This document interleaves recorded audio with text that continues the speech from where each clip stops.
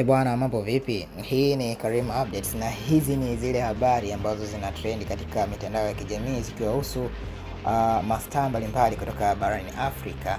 Leo hii tunaangalia mastaa kutoka hapa nyumbani nchini Tanzania, haswa Kajala, Masanja pamoja na Harmonize kutokea kundi la Konde Gang. Sasa katika siku mbili tatu zilizopita, ilikuwa inafahamika kwamba Harmonize na Kajala sio wapenzi tena.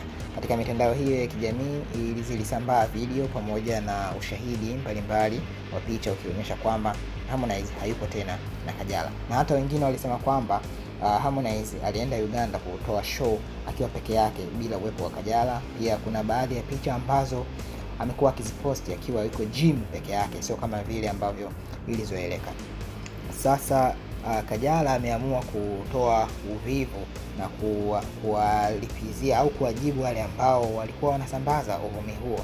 Baada ya kuposti hizo picha hapo unazoziona na kuandika kwamba thank you our Ugandan fans, kwamba akiwashukuru wale mashabiki wa Uganda ambao walihudhuria ile show ya Harmonize.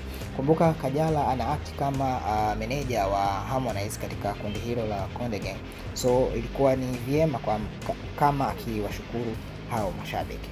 Uh, ukiachana na stori hiyo, Baba Levo ame, amekuja kucomment katika hiyo posti na akaandika uh, karibuni Dubai. So unajua kwamba Baba Levo yeye yupo Dubai, so baada ya kuona ile post ya Kajala akiwashukuru mashabiki wa Uganda na akisema kwamba wao wako Uganda na wanawashukuru hao mashabiki, Baba Levo alikuja na kusema kwamba karibuni Dubai na kuweka emoji za kucheka. Usisahau kusubscribe, kulike na kucomment kwa ajili ya habari nyingine kemkem.